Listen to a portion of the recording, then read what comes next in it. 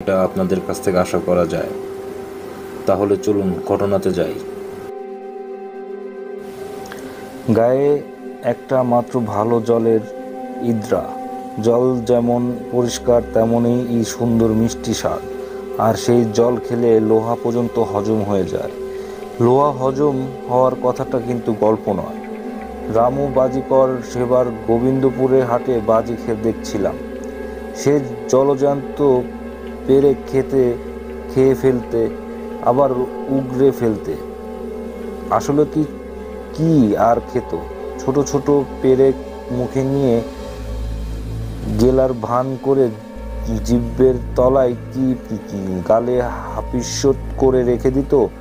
তা রামুর আর সেদিন নেই, বয়স হয়েছে। দাঁত কিছু পড়েছে, কিছু নড়েছে। কয়েকটা দাঁত শহর থেকে বাঁধিয়ে এনেছে। তো সেই পরা নড়ার আর বাঁধানোর দাঁতে তার মুখের ভিতর এখন বিস্তর টোকাটুকি গণ্ডগোল কোনো দাঁতের সঙ্গে কোনো দাঁতের বনে না। খাওয়ার সময় মাংসের হার মনে করে নিজের মনে করে নিজের বাঁধানো দাঁতও। চিবিয়ে ফেলেছিল রামু। সেই অন্য ঘটনা থাকবে। থাকবে। কিন্তু এরকম গণ্ডগোলগুলো মুখ নিয়ে পেরেক খেতে গিয়ে ভারী মুশকিলে পড়ে গেল সেবার। পেরেকের মুখে অবশ্য অসভ্য মতো এক গ্লাস জল খেয়ে সে ভক্তাদের করেছে। পেরেকের তো পেরেকি ইচ্ছা করলে হাওয়ারও বিরুজও খেতে নিতে পারি। সেবার গিয়েছিলাম খাব বলে। সরকার টের পেয়ে আমাকে ধরে জেলে পড়ার উপক্রম, তাই পালিয়ে বাঁচি। ব- করার পর সে আবার যথানিয়মে ওয়াক তুলেও ওগার রাতে গিয়ে দেখ, দেখে পেরেক মুখে নেই একটাও। বেবাক জীবের তলায় আর গালের ফাঁক থেকে সাপ হয়ে জলের সঙ্গে পেটে সেদিন দিয়েছে।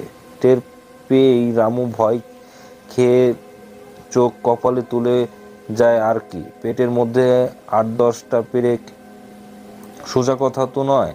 আট ঘণ্টার মধ্যে পেটের মধ্যে মুখে গজলা, ডাক্তার কবিরাজ এসে দেখে বলল, অস্ত্র ফুটো, পাকস্থলী ছিদ্র, খাদ্যনালী লিক, ফুসফুস ফুটো হয়ে বেলুনের মতো হওয়ার বেরিয়ে যাচ্ছে আশা নেই। সেই সময় লোক বুদ্ধি করে বলল, পুরনো ইদ্রার জল খাও। ঘটিভর সেই জল খেয়ে রামু আধ ঘণ্টা খানেকের মধ্যে গা ঝাড়া দিয়ে উঠল। শেষ পর্যন্ত দেখা গেল, সত্যি লোহা হজম হয়ে গেছে। ইদ্রার জলের খাইতেই এমনিতেই ছিল। এই ঘটনার পর আরও বাড়লো বলতে কি।